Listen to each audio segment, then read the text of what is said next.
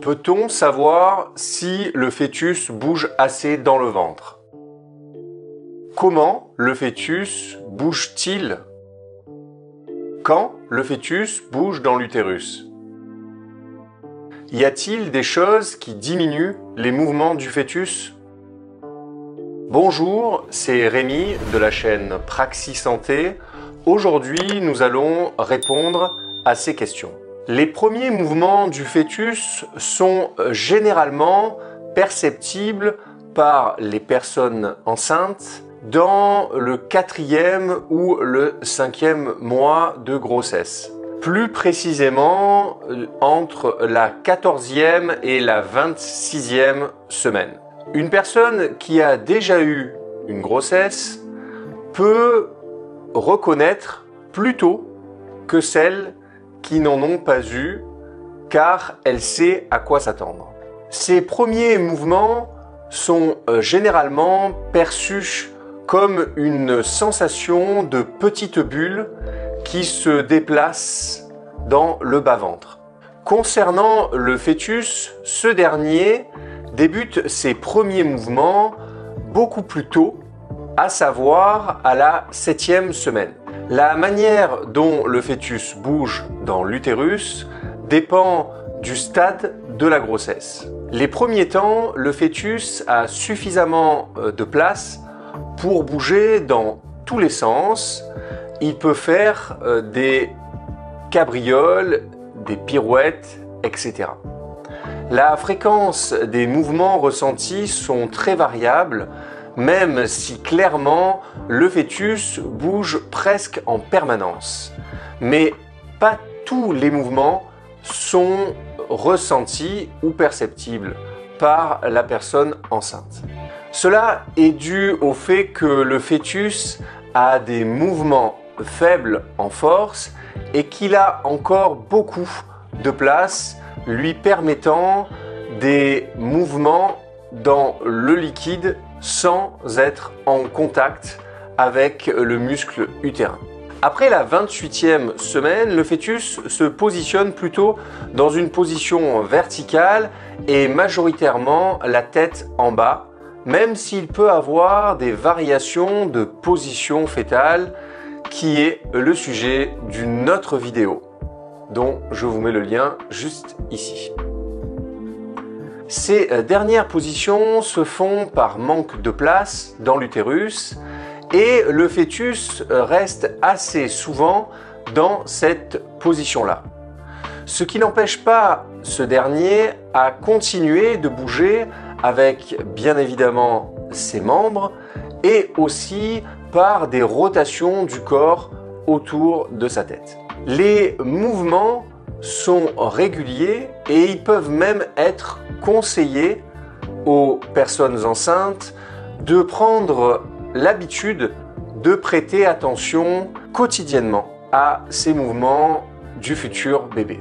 Entre les semaines 28 et 32, l'activité fétale devient plus organisée et constante, avec des périodes marquées de repos et d'activité.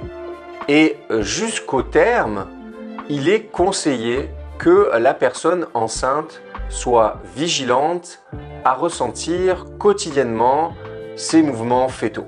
Nous ne pouvons minimiser l'importance de ces mouvements fétaux qui sont signes de bonne santé du fœtus, amenant souvent de la joie à la personne enceinte qui les ressent mais aussi à l'entourage qui peut, à un certain stade, les ressentir en posant une main sur le ventre de la personne enceinte. Mais également être, par leur absence, malheureusement, source d'anxiété.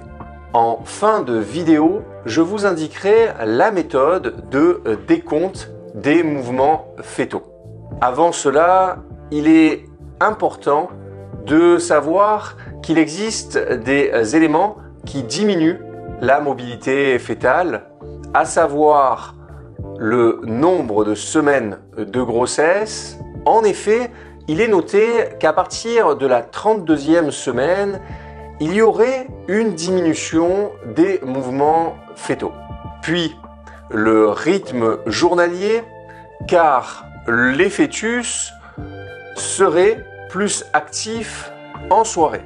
Il y a aussi euh, la prise de substances type médicaments calmantes chez la personne enceinte, comme des narcotiques ou antidépresseurs.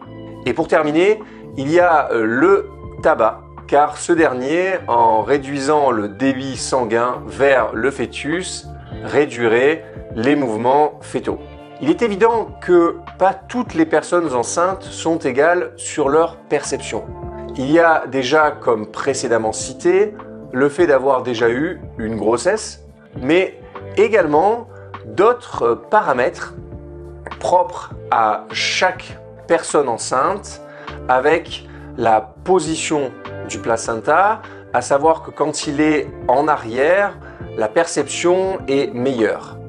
Puis euh, l'activité et l'heure de la journée, en fin de journée, au calme, les mouvements sont mieux perçus.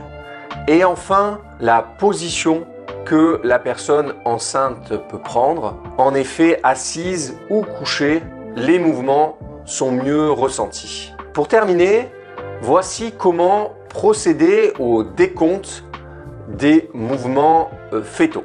Cette dernière peut euh, vous être demandée par l'équipe médicale qui vous accompagne si vous présentez certains symptômes ou antécédents tels que du diabète préexistant ou un diabète gestationnel avec insuline, ou encore une hypertension artérielle, un décollement du placenta, un retard de croissance du fœtus, une mort fétale antérieure, ou encore un dépassement du terme.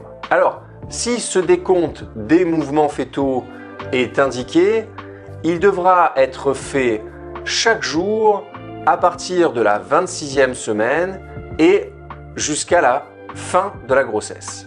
Il est préférable de prendre toujours la même heure, approximativement, euh, dans la journée, et de préférence en soirée. Au calme, en position semi-assise ou allongé sur le côté gauche. Portez toute votre attention sur votre ventre et les mouvements du fœtus. Si vous ressentez six mouvements, vous pouvez arrêter. L'examen est terminé et c'est OK. Si au bout de deux heures, les six mouvements ne sont pas ressentis, rapprochez-vous de votre équipe médicale car un examen médical plus poussé est indiqué. Vous pouvez utiliser ce tableau pour vos propres euh, mesures et noter votre décompte. Merci de m'avoir écouté. N'hésitez pas à vous abonner, à partager, à liker, à commenter et je vous dis à bientôt.